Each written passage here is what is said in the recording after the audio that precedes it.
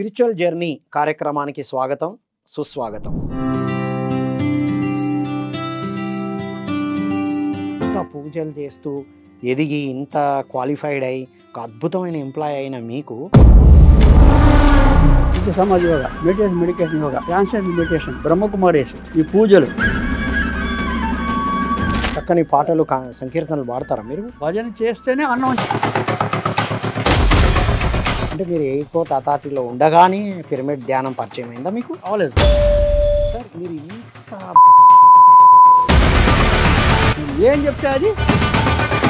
మీరు దాన్ని ఎక్స్పెరిమెంట్ ఏమైనా చేశారా? చివరి శ్వాస వరకు? ఎంతోమంది ధ్యానంతో ఆధ్యాత్మిక శాస్త్రంతో పత్రిజీ సాంగత్యంలో మాస్టర్లుగా ఎదిగిన వారి ఆధ్యాత్మిక ప్రయాణాన్ని మనం తెలుసుకుంటున్నాం. ఈరోజు మనకు వారి స్పిరిచువల్ జర్నీ ధ్యానానికి ముందు జీవితం ధ్యానం తర్వాత జీవితం గురించి మనకు తెలియజేయడానికి మనతో పాటు ఉన్నారు senior most pyramid master VVG Raju గారు వీరు ఎయిర్పోర్ట్ అథారిటీ ఆఫ్ ఇండియా నుండి రిటైర్ అయ్యారు. ధ్యానంలో ఎంప్లాయీగా ఉన్నప్పటి నుంచి ధ్యాన సాధన చేస్తూ వారు ఎది ఎలా ఎదిగారు ఎలా ధ్యానం ఆధ్యాత్మికత ఉపయోగపడింది అనేది చాలా విశేషంగా మనం తెలుసుకోబోతున్నాం. వారితో మాట్లాడదాం. నమస్కారం సార్. నమస్కారం అండి. సార్ మీ బాల్య జీవితం మీ తల్లిదండ్రుల గురించి సార్. మాతృభాష మాత్రం తెలుగు. కానీ పుట్టినప్పటి నుంచి పుట్టిందేమో కాకినాడ. పుట్టినప్పటి నుంచి మా తాతగారు మా నాన్నగారు చెన్నైలో ఉన్నారు కాబట్టి వాళ్ళు తెలుగు సినిమా ఫీల్డ్లో పనిచేసేవాళ్ళు మా నాన్నగారు. అందువల్ల పుట్టినప్పటి నుంచి చెన్నైకి వచ్చేసాం.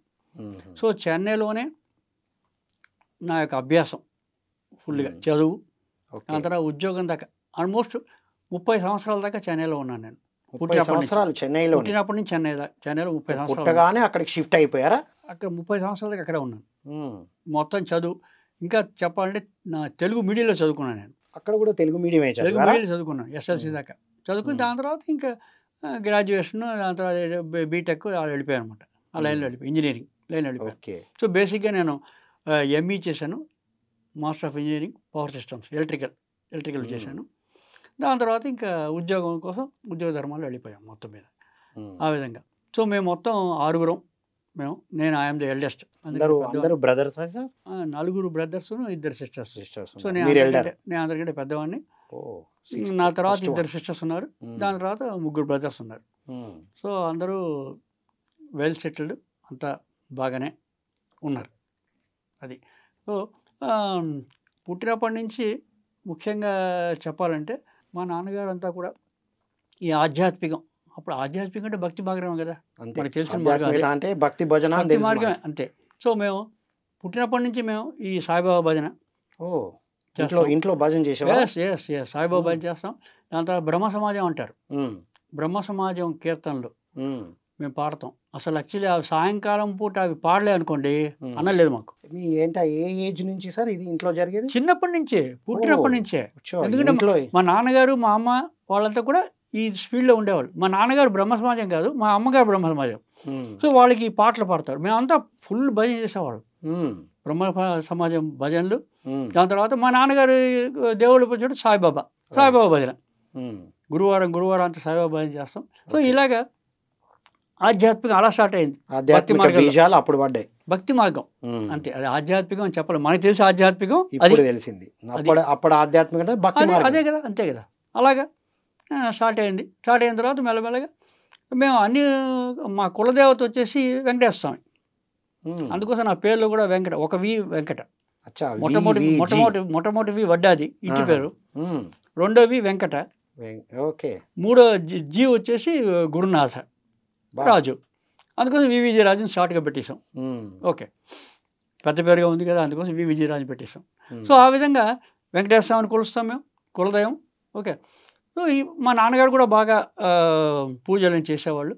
అప్పుడు నేను కూడా చేసేవాడిని ఫుల్గా. చిన్నప్పటి నుంచే. చిన్నప్పటి నుంచే నాకు ఆదిత్య హృదయం ఈ భజనలు కాకుండా. ఆదిత్య హృదయం.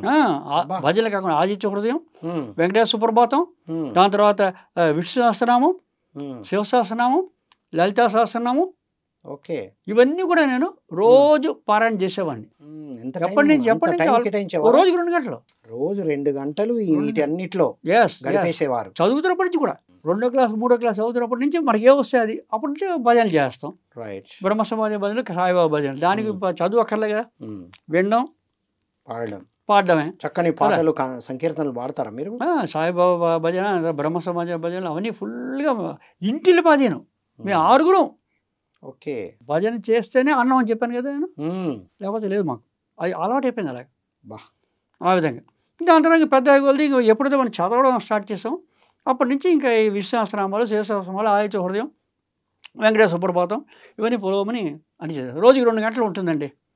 పొద్దున్న లేచినప్పటి నుంచి. అది అయిన తర్వాతనే మిగతా పనులు చదువు కూడా. దాని తర్వాత ముఖ్యంగా ఈ సమ్మర్ హాలిడేస్ వస్తాయి కదా. సమ్మర్ హాలిడేస్లో రెండు నెలలు వస్తాయి. ఆ రెండు నెలల లోపల రామాయణం భారతం. ఎవ్రీ చదువుతాను నేను. అచ్చా పఠనం.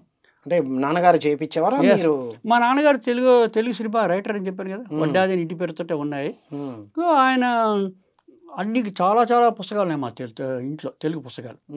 సో దానిలో రామాయణం ఉంది భారతం ఉంది భాగవతం ఉంది. సో రామాయణం భారతం అనేది ప్రతి సంవత్సరం సమ్మర్ హాలిడేస్ చదువుతాను నేను. ఏ క్లాస్ నుంచి ప్రారంభించారు సార్?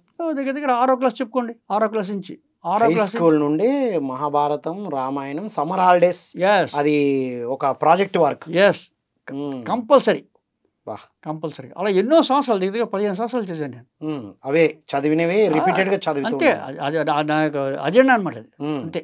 దాని. ప్రకారం చేసి వెళ్ళిపోతాను ఓకే దాని తర్వాత ఈ పూజలన్నీ ఉంటాయి వాళ్ళగా ఉమ్. అలాగా ఈ పూజలు పూజలు పూజలు అలా వచ్చేసింది.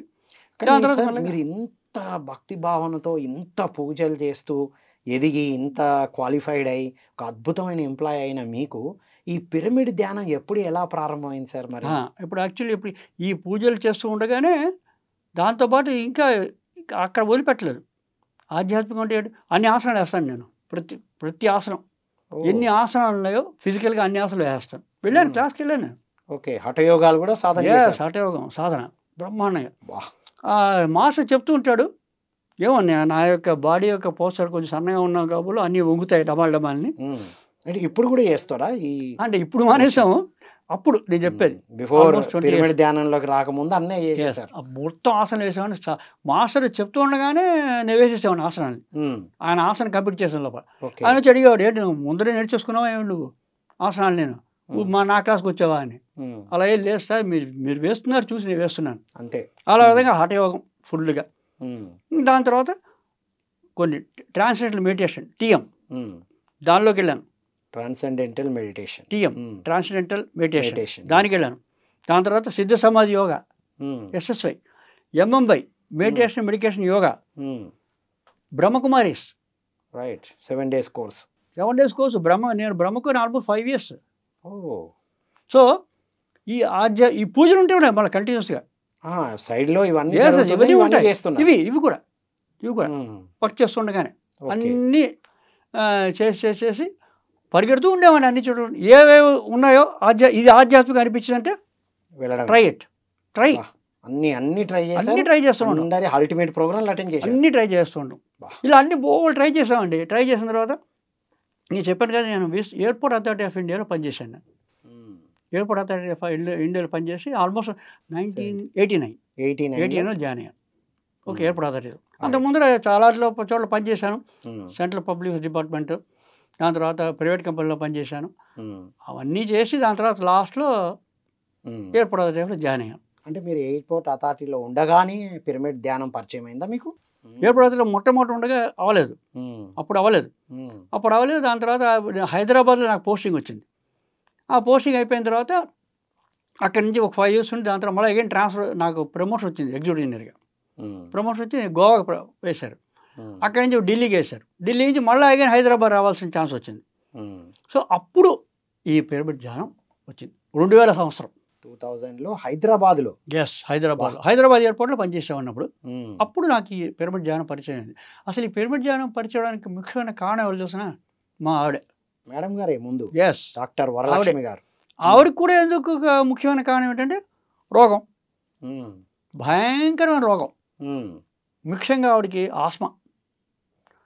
ఆస్మా అంటే మనకు తెలిసిందే కదా? ఊపిరి ఆగిపోతుంది. ప్రపంచం మొత్తం గాలి ఉంటుంది మనకు మాత్రం ఊపిరి వెళ్ళదు అంత సఫర్ అయ్యారా? అంత సఫర్. ఇప్పుడు వారిని చూస్తే అసలు ఆశ్చర్యంగా ఉంది. నేను ఎలా ఉండేవాడిని అంటే ఆస్మ ఎలా వచ్చేది? ఒక్కసారి ఊపిరి ఆగిపోతుంది.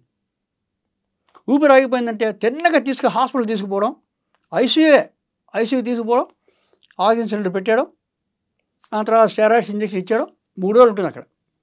మూడు రోజులు అయిన తర్వాత మళ్ళీ ఇంటికి వస్తుంది. ఇలా తనతో జరుగుతూనే ఉండేది. ఐసీయూలో ఉండేది. నేను మావాడు రాత్రిపూట ఐసీయూ బయట ఉండేవాళ్ళం ఐసీయూ లోపలికి వెళ్ళాం కదా.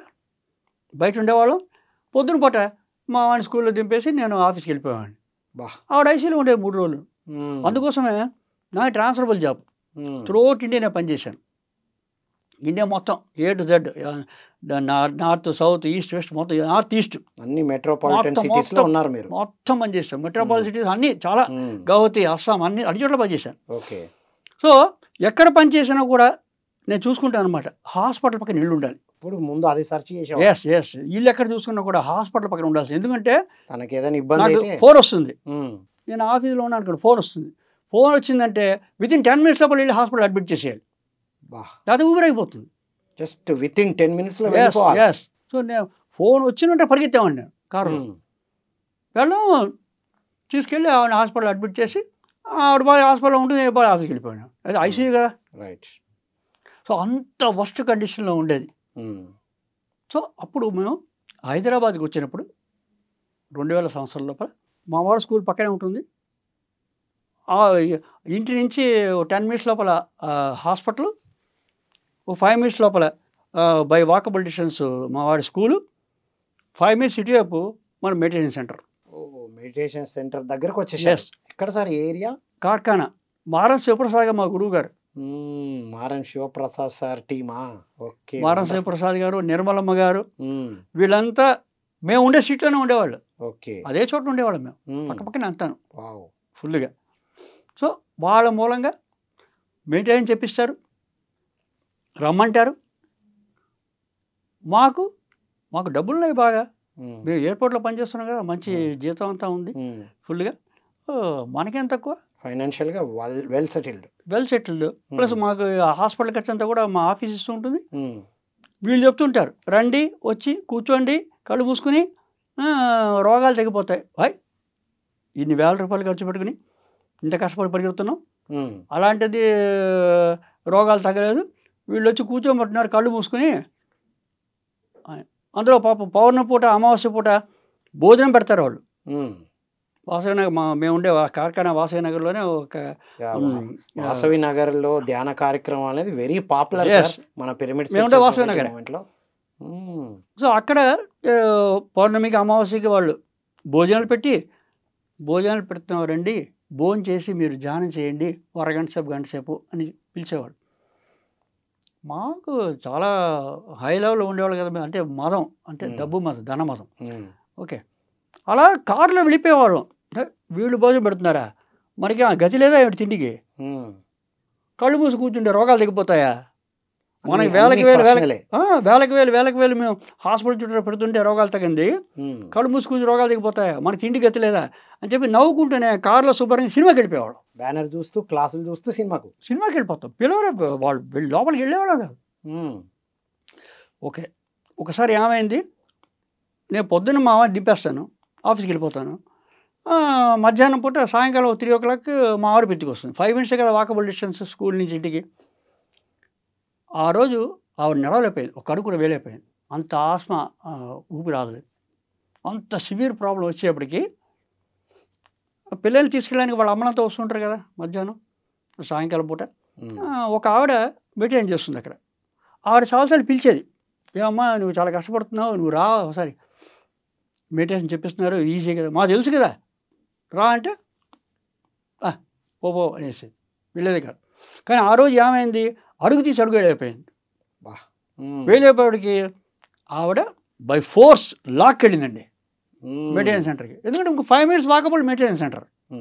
అటు వెళ్ళే బదులు ఇటు తీసుకెళ్ళిపోయారు వారు లాక్ వెళ్ళింది. లాక్ వెళ్ళాడు కూర్చోపెట్టింది. ఆవిడ చేసి మెడిటేట్ చేస్తున్నారు అక్కడ? వాళ్ళంతా ధ్యానం. చేస్తున్నారు. చెప్తున్నారు. శివప్రసాద్ గారు నిర్మలమ్మ గారు "ఆ, అందరు కళ్ళు మూసి కూర్చోండి. శ్వాస మీద ధ్యాస పెట్టండి.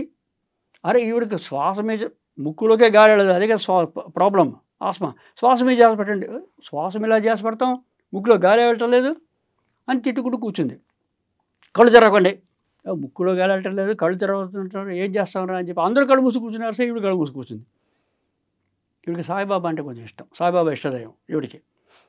కళ్ళు మూసి కూర్చున్న టెన్ మినిట్సే ఉంది క్లాస్ అయిపోవడానికి. కళ్ళు మూసి కూర్చున్న ఓ త్రీ ఆర్ ఫోర్ మినిట్స్ లోపలే సాయిబాబా కనిపించాడు. సాయిబాబా కనిపించి ఆశ్చర్యపోయింది. సరే ఓకే కొంతసేపు అయిన తర్వాత మళ్ళీ ఒక తెల్లగా ప్యాంట్ షర్ట్ వేసుకుని ఒక ఆయన కనిపించాడు గడ్డ వేసుకుని. అయిపోయింది. టెన్ మినిట్స్ అయిపోయింది. కళ్ళు తెరవండి తప్పట్లు కొట్టన్నారు అనుభవం చెప్పన్నారు చెప్పారు. చెప్తే మీకు తెల్లగా కనిపించినానా ఈయన ఫోటోలో. పత్రికారు. పత్రిజీని చూడకముందే తనకు అనుభవం వచ్చింది. కనపడ్డాం. అనుభవం వచ్చింది. వచ్చేప్పటికి ఆవిడ ఇదే పత్రిక చేయరు ఒక మెయింటైన్ చేయండి చెప్పారు. అయిపోయింది. ఇంటికి వచ్చాం. ఆవిడ చేయడం మొదలుపెట్టింది. చేయడం మొదలుపెట్టిన ఒక వన్ వీక్ తర్వాత ఆవిడ కొంచెం రిలాక్స్ అనిపించింది. ఆ ఆస్మా ప్రాబ్లం అప్పుడు నాకు చెప్పింది. వారం రోజులు తను చేసినాక తనకు వచ్చిన రిలాక్సేషన్తో నాకు వచ్చింది అప్పుడు. ఇదేదో కొంచెం డిఫరెంట్గా ఉంది. అది కొంచెం ట్రై చేస్తూ మీరు ట్రై చేసి చూడండి అన్నారు. నేను పూజలు చెప్పాను కదా రోజు రోజు రెండు గంటలు అది చేస్తూ చేస్తూ చేస్తూ నేను బోల్ ట్రై చేశాను కదా ఇది ట్రై చేద్దాం ట్రై చేశాను. అలా వచ్చాను ఇక్కడికి ఈ ధ్యానం లోపలికి. ఓకే. నాకు ఏ ప్రాబ్లం లేదు. ఆవిడకి ప్రాబ్లం ఉంది కాబట్టి వచ్చింది. నాకేం ప్రాబ్లం లేదు. నేను రాయిలా ఉండేవాడిని అన్ని అన్ని చోట్లను. దుఃఖ ముక్కలో ఉండేవాడిని. సో సారీ ట్రై చేసి చూద్దాం. ట్రై చేసాం ఎక్కడ డిఫరెన్స్ వచ్చిందంటే ఇంత నేను చెప్పాను కదా Siddha Samadhi yoga meditation medication yoga transgender meditation Brahma Kumaris ఈ పూజలు ఈ దాని తర్వాత ఈ స్తోత్రాలు ఇవన్నీ ఇవన్నీ చేసుకుంటూ వచ్చాను కదా. కానీ ఇది చేసినప్పుడు ఏమైందంటే అదన్నీ చేస్తుండగా మనసు ఉండేది కదా ఒక చోట. ఇవన్నీ చేస్తుండగా మనసు వచ్చి నిలవడం మొదలుపెట్టింది. బా అన్ని చేసినా మనసు నిలకడ లేదు అంతే మరి. ఇక్కడ నిలకడ వచ్చేసింది. ఇక్కడ నిలకడైంది ఏం డిఫరెన్స్ ఇది నేను అది చూసాను అది గమనించాను. ఓ ఇదేదో కొంచెం డిఫరెంట్గా ఉందని చెప్పి అప్పుడు స్టార్ట్ చేశాను. కంటిన్యూ చేయడం. మిగతా వాటితో పాటు ఇది కూడా కంటిన్యూ చేయడం మొదలుపెట్టాను. రైట్ చేయడం మొదలుపెట్టాను. సో ఒక అలా అలాగా మా ఆవిడ కంటిన్యూ చేసి ఆ, ఒక ఎయిట్ మంత్స్ అప్పటికి మాకు ట్రాన్స్ఫర్ అయిపోయింది. గౌహతికి వెళ్ళిపోయాం. అస్సాంకి అస్సాంకి ట్రాన్స్ఫర్ అయిపోయింది. సో ఆవిడ కంటిన్యూస్గా ఒక వన్ ఇయర్ చేసి ఒక రోజుకి ముప్పై మాత్రలు తీసుకునేది ఆవిడ. అలా మెల్లమెల్లగా మెల్లమెల్లగా మెల్లమెల్లగా ముప్పై కాస్త ఇరవై ఐదు ఇరవై పదిహేను అలా స్లోగా స్టార్ట్ చేసి ఒక ఎయిట్ నైన్ మంత్స్ కంటిన్యూస్గా ఆవిడ ధ్యానం చేసిన తర్వాత ఒక్క మాత్ర కూడా తీసుకోకుండా ఆవిడ ఉండగలిగిందండి ధ్యానంతో సో ఇప్పటికి మూడు నెలలకు ఒకసారి మేము ఐసీయూకి వెళ్ళిపోయేవాళ్ళం. మూడు రోజులు ఉండేవాళ్ళం.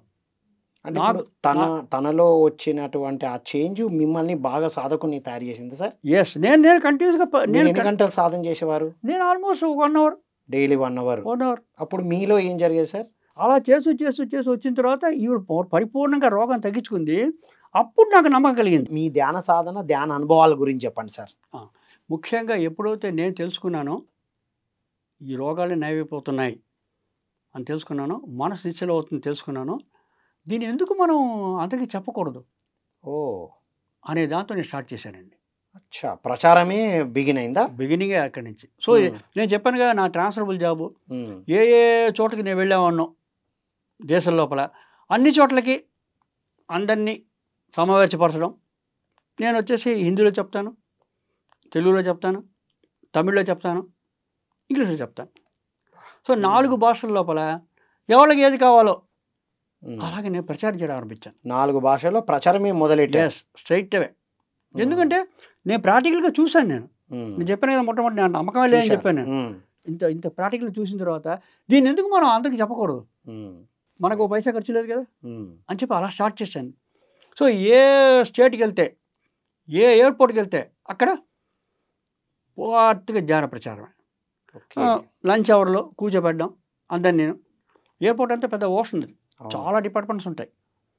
సో ఎవరు ఎవరికి వీలు ఉంటుందో అలా వాళ్ళంతా కూర్చోబెట్టడం లంచ్ అవర్లో కూర్చొని డెమాన్స్ట్రేషన్. లేదా ఎయిర్ ఎయిర్ క్రాఫ్ట్ మూవ్మెంట్స్ తక్కువ ఉన్నాయనుకోండి ఆ టైంలో కూర్చోపెట్టి ధ్యానం చేపి ధ్యానం చేయించడం సో ఎయిర్పోర్ట్ అథారిటీలోనే ధ్యానం ముందు మీరు పరిచయం చేశారు ఇక. ఎస్ ఏ ఇయర్లో సార్? టూ థౌసండ్ చెప్పాను కదా. అప్పటి నుంచే. అచ్చా. ఈ మార్పు చూడగానే ప్రారంభించేశారు. అసలు మేము కార్ఖానాలో వాసనగర్లో ఉండగానే మ్మ్. జాన్ నేర్చుకున్న టూ ఆర్ త్రీ మంత్స్ లోపల ఎవ్రీ సాటర్డే క్లాస్ స్టార్ట్ చేసాం. ఓ వాసవి నగర్లో. మీరు కూడా స్టార్ట్ ఎస్ డైరెక్ట్ ప్రచారానికి వెళ్ళిపోయారు. ఎస్ ఆ ప్రచారం చేస్తూ చేస్తూ మీ అనుభవాలు ఏంటి సార్? మీకేం జరిగింది. లోపల? చెప్దాం అందరికీ అనుకున్నాను. కానీ యాక్చువల్గా జరిగింది ఏమిటంటే నేను ధ్యానం చేస్తున్న వల్ల నా యొక్క ఉద్యోగ ధర్మంలో చాలా చాలా మార్పులు వచ్చాయండి. ఉమ్, వాహ్. ఒక చిన్న ఉదాహరణ చెప్తాను నేను. నేను ముఖ్యంగా జనరల్ మేనేజర్ ప్రాజెక్ట్గా పనిచేశాను. రాంచీ ఎయిర్పోర్ట్. ఓకే. ఎటువంటి సంఘటనలు వస్తాయి. ఈ ధ్యానం అనేది మనకి ఎలాగ దారి చూపిస్తుంది అనే విషయాన్ని ఓకే. ఆ రాంచీ ఎయిర్పోర్ట్లో నేను బేసిక్గా నేను ఎలక్ట్రికల్. కానీ టోటల్ ప్రాజెక్ట్ నేను incharge. So full civil electrical mechanical communication మొత్తం A to Z of project అంటే భూమి పూజ నుంచి హ్యాండ్ ఓవర్ చేసేంత వరకు నేను incharge. Okay. All departments total total airport total. Airport. Okay. So అది బాధ్యత జనరల్ మేనేజర్ ప్రాజెక్ట్గా. సో అది చేసేటప్పుడు ఏమైంది? ఫౌండేషన్ లెవెల్ నుంచి రూఫ్ లెవెల్ దాకా మాకు ప్రాబ్లమ్స్ వచ్చాయి. అసలు యాక్చువల్లీ చెప్పాలంటే రూఫే కొలాప్స్ అయిపోయింది. చేస్తుండగా. కొలాప్స్ అయ్యే స్థాయికి వచ్చేసింది. ఒక పోర్షన్ ఆఫ్ రూఫ్ కొలాప్స్ అయింది. చేస్తుండగానే. కొత్తగా. సో ఆ కాంట్రాక్టర్ సరిగ్గా పని చేయలేదు. కొన్ని అలా కాదు కదా రెస్పాన్సిబిలిటీ నాది కదా. ఐఎమ్ ఇన్ఛార్జ్ కదా. సో ఏం చేయాలి? ఒక కన్సల్టెంట్ చెప్తాడు. వాడు చెప్పిన ప్రకారం కాంట్రాక్ట్ చేస్తాడు. వాడు సరిగ్గా చేయలేని చెప్పేసి ఒరిజినల్ కన్సల్టెంట్ విడ్రా అయిపోయాడు. అబ్బా. నేను నాకు తెలియదు పో అనేసాడు. కాంట్రాక్టర్ ఏమో నాకు తెలిసి నేను చేశాను అన్నాడు. ఇప్పుడు రెస్పాన్సిబిలిటీ ఎవరిది అయింది వర్క్ కంప్లీట్ చేయాల్సింది ఎయిర్పోర్ట్ కొత్త ఎయిర్పోర్ట్ కట్టి హ్యాండ్ ఓవర్ చేయాల్సింది నా బడ్జెట్ అయిపోయింది. రైట్ సో ఏం చేయాలో తెలియలేదు సో ఈ ధ్యానం వల్ల ఏం చేయాలో తెలియలేకపోతే కూర్చుంటే అప్పుడు వచ్చిందండి. ఇన్నర్ వాయిస్ అంతరాత్మ ప్రబోధం. నువ్వెందుకు సపరేట్ కన్సల్టెంట్ని అపాయింట్ చేయకూడదు ఎయిర్పోర్ట్ అథారిటీ నుంచి? ఓకే. అని డైరెక్షన్ వచ్చిందండి. నాకు. అప్పుడు బయటకు వచ్చిన తర్వాత right.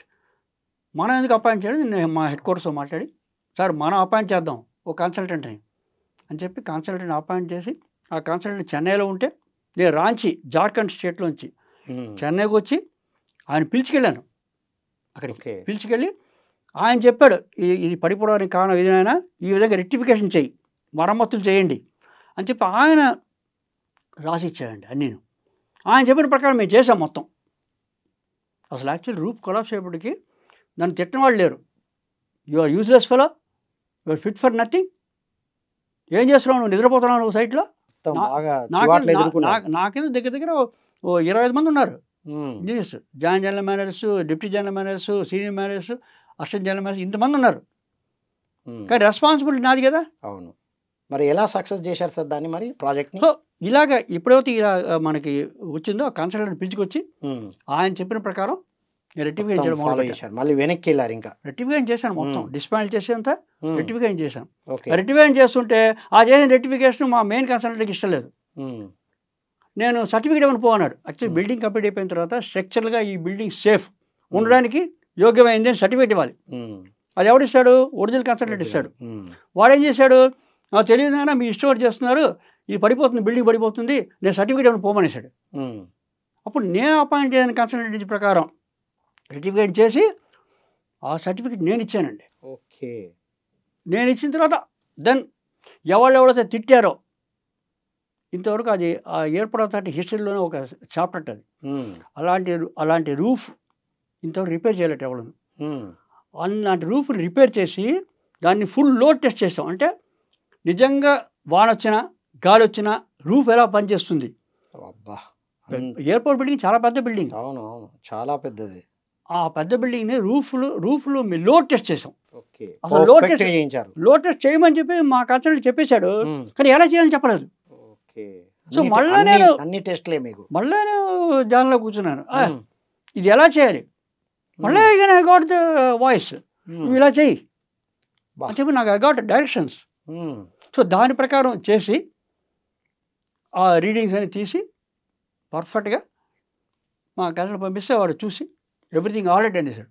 So compared the entire work and fully inaugurated the building excess excellent flying colours తోటి. ఉమ్, కానీ ఫైనల్లీ ఎవరిలో అయితే నన్ను తిట్టారో వాళ్ళందరూ కూడా నన్ను పొగడ ఆరంభించారు విమర్శలు ఎదుర్కొన్న దగ్గరనే అభినందనలు పొందారు మీరు. ఎస్ అది ధ్యానం యొక్క శక్తి. మినిస్టర్ మా సివిల్ ఏవియేషన్ మినిస్టర్ మా మా డిపార్ట్మెంట్ అంటే ఎయిర్పోర్ట్ కదా? సివిల్ ఏవియేషన్ మినిస్టర్ విమానయాన సంస్థ మా యొక్క మంత్రి. ఉమ్, వాళ్ళు తిట్ట మొదలు పెట్టారు. ఇలా ప్రాబ్లం వచ్చేప్పటికి. ఎందుకు? వాళ్ళు ఇనాగ్రేట్ చేయాలి. వాళ్ళకి ఎప్పుడు ఎయిర్పోర్ట్ ఇనాగ్రేట్ చేస్తే వాళ్ళ ఖాతాలో పడతాయి కదా. లెక్క అకౌంట్ అది కుదరలేదు. గొడవ గొడవ అయ్యేప్పటికి ఇంకా ఇదంతా అయ్యేప్పటికి ఆఖరికి ఇయర్ ఇనాగ్రేషన్ రోజున మినిస్టర్ వచ్చి నాకు సెకండ్ ఇచ్చాడు వా పవర్ ఆఫ్ మెడిటేషన్. చూసారా? వా ఒక ధ్యానము ఒక అథారిటీ ఒక అడ్మినిస్ట్రేటర్గా ఉన్నప్పుడు ధ్యానంతో ఎంత అంతరాత్మ ప్రబోధం నడిపిస్తుందో ఒక అల్టిమేట్ క్లాసికల్ ఎగ్జాంపుల్ సార్. దాని తర్వాత I got I got best award for best engineer award for that. వా బెస్ట్ ఇంజనీర్ అవార్డు తీసుకున్నారు. ఏమిటి ఫౌండేషన్ నుంచి రూఫ్ దాకా కూలిపోయే బిల్డింగ్ని మళ్ళీ నిలబెట్టి మళ్ళీ తిట్లు తిని సరి చేసి పొగడతలు పొంది I got best engineer award for the entire all India basis. Visvesvaraya award అని మాకు ఇస్తారనమాట అంటే విశ్వేశ్వరయ్య ఇది ఓన్లీ. ఇదిగా I got best award engineers day రోజు. Engineer road so Saturday Sunday మీరు ప్రచారం చేసుకుంటూ మీ ఉద్యోగంలో ఈ ధ్యానాన్ని అప్లై చేస్తూ వెళ్తున్నారు. ఓకే తర్వాత ముఖ్యంగా ముఖ్యంగా చూస్తే అక్కడ రాంచీ నుంచి I got transfer to Visakhapatnam. So Visakhapatnam airport Telugu. Right ఇక నేను ఎలా ప్రచారం చేసేవాడిని? శనివారం ఆదివారం పూట నేనేమో దూరంగా వెళ్ళేవాడిని. ఎయిర్పోర్ట్కి దూరంగా వెళ్ళేవాడిని. ఫార్టీ కిలోమీటర్స్ అనకాపల్లి ఇటువైపు శ్రీకాకుళం ఇటువైపు చెప్పేవాడిని ధ్యాన ప్రచారం. మిగతా రోజులు మండే టు ఫ్రైడే లంచ్ అవర్లో నేను వెళ్ళి చెప్పేసేవాడిని. ఆఫీస్లో లంచ్ అవర్ లోపల నేను లంచ్ చేయను. మార్నింగ్ టెన్ ఓ క్లాక్ భోజనం చేస్తాను మళ్ళీ. నైట్ సెవెన్ ఓ క్లాక్ భోజనం చేస్తాను. అందువల్ల. లంచ్ నాకు ఫ్రీయే. అందువల్ల నేనేం చేస్తాను? లంచ్ అవర్లో one o'clock three o'clock వాళ్ళు ప్రోగ్రామ్ పెట్టేవాళ్ళు forty days class. So forty days క్లాస్లో one o'clock three o'clock one and two వెళ్ళి నేను క్లాస్ చెప్పేవాడిని మొట్టమొదట. ఓకే. త్రీ టు ఫోర్ వాళ్ళు. వాళ్ళు వాళ్ళు మెయింటైన్ చేసుకునేవాళ్ళు. సో నా కోసమే వాళ్ళు మొట్టమొదటి క్లాసు దాని తర్వాత మెడిటేషన్ ఇలాగా నలభై రోజుల క్లాసులు దగ్గర దగ్గర వంద కనెక్ట్ చేసామండి విశాఖపట్నంలో. సో ఇలా మీరు ప్రచారము ఉద్యోగము కుటుంబము అన్నీ బ్యాలెన్స్ చేసుకుంటారు అసలు వర్క్ లైఫ్ బ్యాలెన్స్కి ధ్యానం ఎలా ఉపయోగపడుతుంది సార్ దీనికి చెప్పాలంటే నాకు ఇంకో చిన్న ఉదాహరణ చెప్పాలి యాక్చువల్లీ.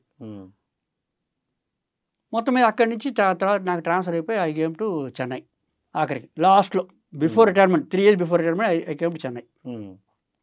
Chennai వచ్చిన తర్వాత నా యొక్క ఐడియా ఏమిటి ఓకే నాన్న ఇంతవరకు కష్టపడి పనిచేసాం ఇది ఫ్రీగా ఉందాం అనుకున్నాం అలా కుదరలేదు ఇక్కడికి. వచ్చిన తర్వాత నాకు ఇంకో తరకాన్ని పట్టుకుంది. ఏమిటంటే ఈ చెన్నై బేసిక్లీ ఆమె ఎలక్ట్రికల్ నన్ను ఎలక్ట్రికల్లో పోస్ట్ చేశారు general. Manager electrical. For entire Chennai airport. Okay నేను ఎలక్ట్రికల్లో ఉన్నా హాయిగా ఉన్నా అనుకున్నాను. కానీ ఏమైంది మధ్యలో ఒక ఒక ఒక trade conference international trade conference వచ్చింది. దానికి చెన్నై ఎయిర్పోర్ట్గా వస్తారు ప్రపంచంలోంచి. అందరూ ఓకే. అప్పుడు మన జయలలిత గారు సీఎం. ఆ చెన్నై ఎయిర్పోర్ట్ చాలా పాతది. సో ఆవిడ తిడ్డ మొదలుపెట్టింది చండాలంగా ఉంది ఎయిర్పోర్టు ఎవరైనా వచ్చేవాళ్ళంతా తిడతారు అని చెప్పేసి ఆవిడ మినిస్ట్రీకి లెటర్ రాసింది. చెన్నై ఎయిర్పోర్ట్ ఏమైనా చేయని చెప్పేసి. ఏం చేస్తాం పాత ఎయిర్పోర్ట్ని? ఏం చేయలేం కదా. ఏం చేద్దాం ఏం చేద్దాం ఏం చేద్దాం ఆఖరికి మా ఎయిర్పోర్ట్ డైరెక్టర్కి మా హెడ్ క్వార్టర్లు చెప్పేశారు. నానా నువ్వు ఎలక్ట్రికల్ వాడు అనుకుంటున్నవాడు వాడు మొత్తం అంటే ఏడు సెట్ చేస్తాడు సివిల్ వాళ్ళు కూడా బ్రహ్మాండంగా పని చేస్తాడు. మ్మ్. అందుకని వాడికి పని అప్పచెప్పాయి. వాడు ఓకే చేస్తాడు. సో అది నాకు పని అప్పచెప్పారు. ఒక త్రీ మంత్స్ లోపల చెన్నై ఎయిర్పోర్ట్కి లుక్ మొత్తం మార్చేసానండి మ్మ్. ఫుల్గా బా. ఎక్స్టర్నల్గా. అద్భుతంగా మొత్తం ఎక్స్టర్నల్ ఇంటర్నల్గా మార్చేసాం ఫుల్గా three months in the three months three months లోపల. కానీ ఒకటే కండిషన్ నేను ఏం చెప్తే అది ఓకే చెప్పాలి. ఓకే చెప్పేయాలి. ఈ ప్రొసీజర్ ప్రకారం నా ఒప్పుకొని చెప్పేశాను. నేను ఏం చెప్తే అది ఓకే చేయాలి. ముందే ఎంత కావాలి ఎంత ఎంత డబ్బు కావాలో అంత డబ్బు నాకు ఇచ్చేయాలి. శాంక్షన్ చేసేయాలి. అదే కండిషన్ అలా చెప్తే నేను చేస్తాను. నేను చేయను నేను సార్. ఇది టైం చాలా షార్ట్. చేయాల్సిన పని చాలా ఉంది. ఎయిర్పోర్టే మార్చేయాలంటే సులభమా? పాత డొక్కు చేసినట్టే కదా సార్. పాత డొక్కులో ఉండే ఎయిర్పోర్ట్. అలాంటి మొత్తం మార్చేసి మొరల్స్ పెట్టి పెయింటింగ్స్ చేసి ఎక్సలెంట్గా చేసామండి బాగా. చేసేప్పటికి ఆ ట్రేడ్ ఫేర్ బ్రహ్మాండంగా ముగిసింది. ఏ జయలలిత అయితే తిడుతూ లెటర్ రాసిందో అదే జయలలిత పొగుడుతూ లెటర్ రాసింది. ఎక్కడ విమర్శలు పొందుతున్నారో అక్కడే అప్రిషియేషన్స్ పొందుతున్నారు మీరు. అది అది చేయడానికి ముఖ్యంగా ఏమిటి? అది- నా వర్క్ చేస్తూ ప్లస్ ఈ ఎక్స్ట్రా వర్క్ నాకు. అవును? అది మీది కాదు యాక్చువల్లీ. నాది కాదు. మీ ఇంట్యూషన్ ద్వారా వచ్చింది సబ్జెక్ట్ అది. కానీ కానీ మా హెడ్ క్వార్టర్స్ వాళ్ళు తెలుసు నేను ఎలా పని చేస్తానని ఉమ్. వీడు ఎలాంటి పని నేను చేయగలిగి నాకు అప్పచెప్పారండి రైట్ సో వండర్ఫుల్ అప్పుడు ఎప్పుడైతే నేను కంప్లీట్ చేశానో సేమ్ జయలలిత పొగుడుతూ లెటర్ రాసింది. మళ్ళా civil waste minister Ashok Gajapathi Raju గారు ఉండేవాడు. ఆయన వచ్చాడు మళ్ళా. షేక్ ఇవ్వడానికి. అబ్బా. సో మా ఎయిర్పోర్ట్ అందరూ సార్ ఈయన రాజుగారి వల్ల అయిందండి ఇది. అని చెప్పి వాళ్ళందరూ నా బాస్ లేనా కూడా నా చేయి నా అని చూపించారు. సో ఇవన్నీ ఏమిటంటే ఆ పని చేయడానికి మరి మామూలుగా నా పనితో పాటు నేను పని చేయాల్సి వస్తుంది. ఒక రోజుకి పద్దెనిమిది గంటలు పనిచేసేవాడిని నేను. యాక్చువల్ అయితే వర్కింగ్ అవర్స్ ఎన్ని సార్? మాకు working hours morning nine thirty to six అండి కానీ. మీరు ఎక్స్ట్రాగా చేశారు అలా చేసే కానీ పని అవుతుంది కదా. అలా చేసేప్పటికి బ్రహ్మాండ సివిల్ ఏవియేషన్ మినిస్టర్ కూడా చేశారు ఆఖరికి ఆ అన్ని క్రెడిట్స్ ఉన్నాయి నా దగ్గర. ఆ క్రెడిట్స్ తోటి I got promotion okay as regional executive director. Southern region అంటే సౌత్లో ఏడు స్టేట్స్ ఉంటాయి. ఏడు స్టేట్స్ తెలంగాణ. ఆంధ్రప్రదేశ్ తమిళనాడు కేరళ కర్ణాటక లక్షద్వీప్. అరవై ఎయిర్పోర్ట్స్ ఉంటాయి. ఒక్క ఎయిర్పోర్ట్కి ఒక ఎయిర్పోర్ట్ డైరెక్టర్ ఉంటాడు. రైట్. సో ఆ ఎయిర్పోర్ట్ డైరెక్టర్ అందరూ నాకు రిపోర్ట్ చేస్తారు. సో. పదివేల మంది నా కింద పనిచేసేవాళ్ళు. పదివేల మంది. డైరెక్ట్గా ఇండైరెక్ట్గా. సో అలాంటి ప్రమోషన్ వచ్చింది. ఇప్పుడు మీరు అడిగారా ఈ ధ్యానం వల్ల ఎలా అయితే. నేను చెప్పబోయేది ఏంటంటే అంతకు ముందర ఎయిటీన్ అవర్స్ పనిచేసేవాడిని లేదా సిక్స్టీన్ అవర్స్ పనిచేసేవాడిని చెప్పాను. ఎప్పుడైతే నేను రీజనల్ ఎగ్జిక్యూటివ్ అయ్యానో ఇంకా బాధ్యతలు ఎక్కువ పెరిగిపోయాయి. ఒక రోజుకి దగ్గర దగ్గర నూట యాభై ఫైల్స్ చూడాల్సి వస్తుంది. నూట యాభై ఫైల్స్ ప్లస్ త్రోట్ సౌత్ దక్షిణ క్షేత్రం మొత్తం. టూర్. సో ఒక రోజుకి ఇరవై గంటలు పనిచేసేవాడిని. ఉమ్. సో అందరూ ఆశ్చర్యపోయేవాళ్ళు. ఎలా మీరు ఇంత ఎన్ని రోజులు పనిచేస్తున్నారని చెప్పేసి. ఇంత ఇంత సంపాదన చేస్తున్నారు. సాటర్డే సండే అన్ని రోజులు అన్ని రోజులు ఉమ్. సో ఎలా ఎలా పనిచేస్తున్నారు? ఎలా మీకు టైం దొరుకుతుంది? అంటే ఒకటే ఒక జవాబు ధ్యానం. ధ్యానం వల్ల ఎంతో శక్తి వస్తుందని చెప్తారు కదా. మరి అంత శక్తి లేకపోతే మనం ఎలా పనిచేస్తామండి ఇరవై గంటలు. Three hundred sixty five days. ఒక్కరోజు కూడా లీవ్ లేకుండా. Minimum eighteen hours to twenty hours. ఒకరోజు పనిచేస్తామండి సో దానికంటే ఏం కావాలి మీకు ధ్యానం వల్ల అంటే ఎంత బాధ్యత పెరిగితే అంత క్రియేటివిటీ మనకు వస్తుంది ధ్యానం ద్వారా. వర్క్ని లైఫ్ని బ్యాలెన్స్ చేసుకోవడం సాధ్యం ధ్యానం Yes. అనేది మీ క్లాసికల్ ఎగ్జాంపుల్. ఎస్ సార్ మీరు చదివిన పుస్తకాలు సార్? నేను ఎక్కువగా మన తెలుగు పుస్తకాలు చాలా ఉన్నాయి అవి చదువుతుంటాను ప్లస్. ఓషో గారి పుస్తకాలు ఉన్నాయి. మన పత్తి గారు రాసిన ఓషో గారు సాధన రహస్యాలు ఇవి చాలా ఉన్నాయి. ఆ పుస్తకాలు చదువుతుంటాను ఆ, ముఖ్యంగా ఆ పుస్తకాలు చదవడంతో పాటు ప్రాక్టికల్గా నాకు ఎక్కువ ఇన్స్టిట్యూషన్స్ అని చెప్పాను కదా. Inner voice. అదే మెయిన్గా. మీ ఇంట్యూషన్ ఎప్పుడు ఫాలో చేస్తూ ఉండేవారు. ఇంట్యూషన్. ఎందుకంటే నాకు ఎక్కువగా ఎక్కువగా నాకు మిగతా వాళ్ళకి వచ్చే పోలు అనుభవాలు రావడం కాదు. మీ ఇంట్యూషన్. Inner voice. అదే అదే గ్రేట్ అనుభవం సార్. ఇన్నర్ వాయిస్ సార్ మీరు ఏ బుక్ మీకు స్ఫూర్తినిచ్చిన పుస్తకాలు ఏంటి సార్ ఓషో? అంటే మన సాధన రహస్యాలు. సాధనా రహస్యాలు. దాని తర్వాత విజ్ఞాన భైరవ తంత్ర. ఇలాంటివన్నీ కొంచెం దేవాలయ రహస్యాలు. ఇలాంటివన్నీ కొంచెం చాలా ఎక్సలెంట్గా ఉంటాయి. సాధన. రహస్యాలు అట్లా ఉంటాయి వాటిలో వాటిలో అవి చాలా వాటిలో మన వాటిలో చదివిన అనుభవం. ఎలా ఉంటుంది ఏంటని. సో అందులో నుంచి చదివింది మీకు వచ్చిన అనుభవం. ఒకటి చెప్పండి సార్. సాధన రహస్యాల్లో లేదా విజ్ఞాన భైరవ తంత్రంలో ఓషో గారు ఏం చెప్తారంటే నూట ఎనిమిది ధ్యాన విధానాలు ఉన్నాయని చెప్తారు. నూట ఎనిమిది. నూట ఎనిమిది ధ్యాన విధానాలు. అవి అవి చదివి చూసేప్పటికి అంతా శ్వాస మీదే ఉంటుందండి. నూట ఎనిమిది విధానాలు కూడా శ్వాస శ్వాస మీదే. లోపలికి వెళ్ళే శ్వాసను గమనించు. లేదా లోపల శ్వాస బయట శ్వాస మధ్య ఉన్న విరామాన్ని గమనించు. లేదా బయట శ్వాస గమనించు. లేదా దాని మధ్య ఉన్న విరామాన్ని. ఇలా శ్వాస గురించి డీటెయిల్గా ఉంటుంది అంతా. ఉంటుంది.